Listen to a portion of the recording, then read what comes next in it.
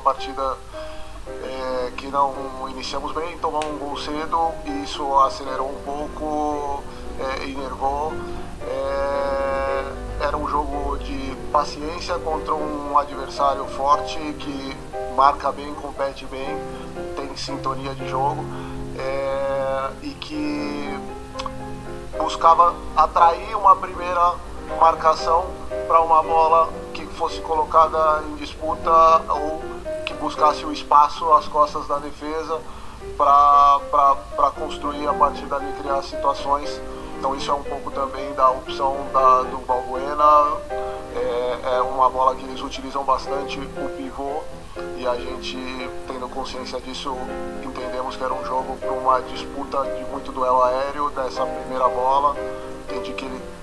nessas disputas, muitas situações e o time adversário exigia isso, é, por isso a opção. É, e depois é isso, aí um placar que fica favorável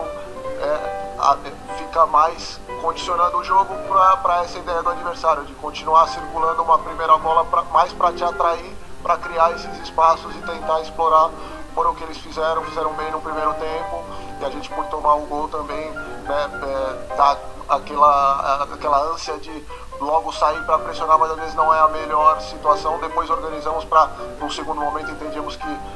teríamos que estar sempre mais impressão e correr alguns riscos, aí já fazia parte de buscar recuperar no jogo e estar tá, é, forçando. Tivemos uma segunda parte melhor do que a primeira, a, as entradas e a busca do nosso jogo fluiu mais pelos lados, algumas possibilidades de finalização, mas não conseguimos é, concluir com precisão ali as finalizações que surgiram, não conseguimos é, acertar algumas bolas que passaram próximas ali, algumas chances de poderíamos ter empatado, mas não conseguimos ter é,